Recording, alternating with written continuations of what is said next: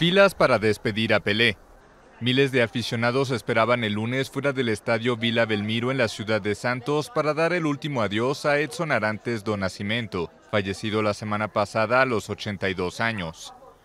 Los restos del único jugador en ganar tres mundiales arribaron en la madrugada en una caravana salida desde el Hospital Albert Einstein de Sao Paulo, donde estuvo internado desde el 29 de noviembre hasta su fallecimiento un mes después.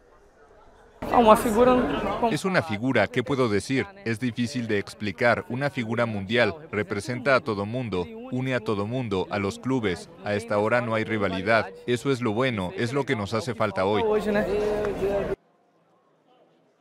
El presidente brasileño Luis Ignacio Lula da Silva anunció que visitará el martes el velatorio en el estadio. En tanto, el dirigente de la FIFA, Gianni Infantino, entre los asistentes el lunes, dijo que pedirá a todos los países bautizar un estadio con el nombre de Pelé. También estuvieron presentes el jefe de la Confederación Brasileña de Fútbol, Ednaldo Rodríguez, y de la Conmebol, Alejandro Domínguez, así como el padre de Neymar, surgido en la cantera del Peixe y quien besó la frente de O'Reilly.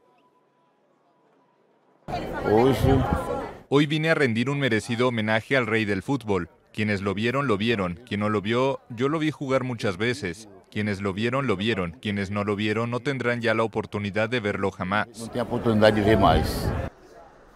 El ingreso al estadio estará permitido de manera ininterrumpida hasta el martes a las 10 hora local, tras lo cual empezará una procesión por las calles de Santos. El recorrido terminará en un mausoleo de la ciudad con una ceremonia religiosa y un entierro reservado para la familia. En ese mismo cementerio descansan los restos del padre, el hermano y la tía de Pelé. La caravana fúnebre pasará por la casa de la madre del legendario exfutbolista, doña Celeste de 100 años, quien según la familia no es consciente de la muerte de su hijo,